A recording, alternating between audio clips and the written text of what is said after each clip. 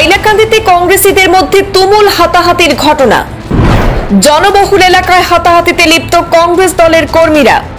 কংগ্রেস প্রার্থী হাফিজ রশিদ আহমদ চৌধুরীর সাথে বন্যার খোঁজ খবর নিতে আসা কংগ্রেসের দুই গ্রুপের মধ্যে তুমুল মারপিট।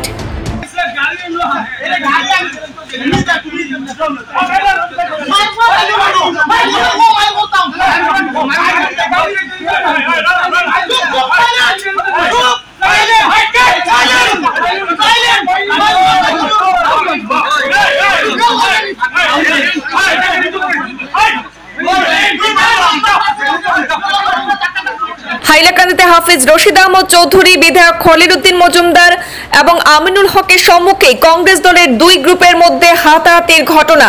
ঘটনার বিবরণে জানা গেছে কালীনগর ষষ্ঠ খণ্ডে জলে ডুবে মৃত্যু হয় শিশুর বাড়িতে যাওয়ার সময় কালীনগর বাইপাস সংলগ্ন একটি গ্রিলের দোকানের সামনে।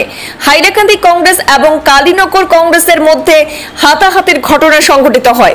ওই সময় দেখা গেছে, কাটিকোড়া কংগ্রেসের বিধায়ক খলিল উদ্দিন মজুমদার, আসামের প্রাক্তন অধ্যক্ষ তথা সোনাই প্রাক্তন বিধায়ক আমিনুল হক লস্কর, হাইলাকান্দি জেলা কংগ্রেসের সভাপতি শামসুদ্দিন বড়লস্কর এবং করিমগঞ্জ লোকসভা আসনের প্রার্থী হাফিজ রশিদ আহমদ চৌধুরী এবং অন্যান্য কংগ্রেস কর্মীরা